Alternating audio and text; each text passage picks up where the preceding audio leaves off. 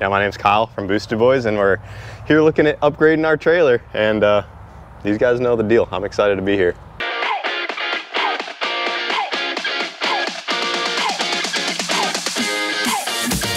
How long is this So one? guys, oh, this is a 34. This is a 34. Yeah, 34 foot, yep. We'll All right, I changed my mind. do one.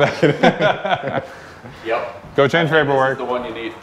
Six and a half hours later. Well, as awesome as all of these trailers are, we're gonna go take a look at ours. And I think we'll have to come back one day and upgrade because the last time I was here, I. I had to stay firm and not get more than we need right now. But man, these things are freaking nice. But we're gonna go check out ours, which is definitely a massive upgrade from the old trusty DC that is Yeah. no longer so trusty anymore. Door opens. Yeah. Well, guys, here she is. This is our new trailer right here. It's not as big as some of the other trailers they got, but a big reason for that is we love to go to the track so much. We needed a good, solid enclosed trailer that we can take once a week and swing in the 30 foot long trailers into our house is not the easiest thing. Yeah, we're gonna go ahead and check this thing out real quick. Yeah, for sure. So a 28 foot trailer. Um, this one does have our one piece roof upgrade on it, uh, thicker outside skin, torsion axles. So you guys have the independent suspension when you look at the smoothness of the ride. Yeah, boys, this is her. Unit. The AC. Yep. Got an AC unit on there for these hot Florida days. It's a great, great setup for you guys. And you know, one thing I've learned over the years on trailers, and I learned this from the the pro NHRA pits, is you know they even at the shop they work on their cars in the trailer or right beside the trailer because all the tools are in the trailer.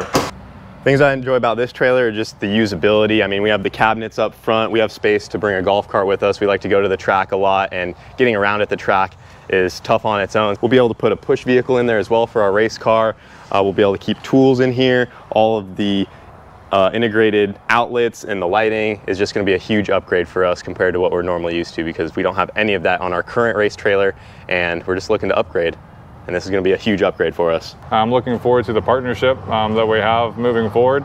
I think a lot of people that are certainly fans of, of your channels and overall followers are potential trailer buyers. And you know, for us, we stay very competitive, just like you guys are on the track. We're competitive in that retail environment for trailers, and we want each and every customer to have that best deal. I'm excited to work with you guys, and I'm sure we're going to be coming back in the future with this awesome selection you guys have. Already looking to upgrade, as you Right. guys could tell. but yeah, no, I'm excited to start this partnership with you guys, and it's awesome to see that you're actually into drag racing and involved with all of that as well, so you understand what racers' needs actually are. So, so I wanted to come here. Just knew it was the right place to be.